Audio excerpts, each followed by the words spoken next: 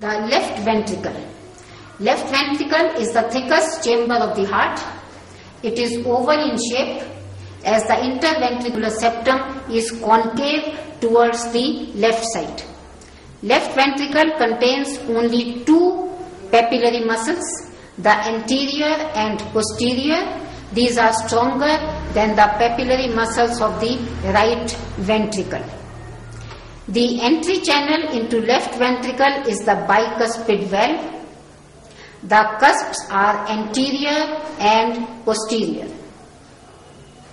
Exit channel is the aortic semilunar valve. The aortic valve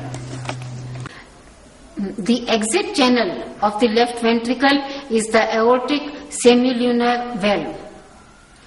There are three cusps in the valve, one anterior and two posterior, all being stronger than those of the pulmonary valve of the right ventricle.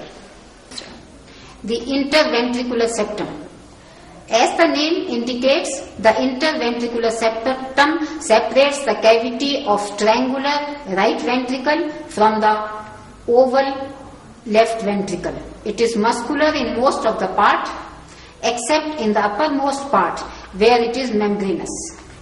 Part of the membranous interventricular septum separates left ventricle from the right ventricle, from the right atrium, and partly separates the right ventricle and left ventricle.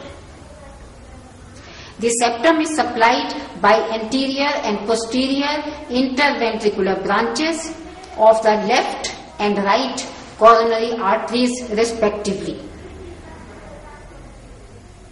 In the upper part is seen the interatrial septum which separates the right atrium which is placed anteriorly from the left atrium which is placed posteriorly.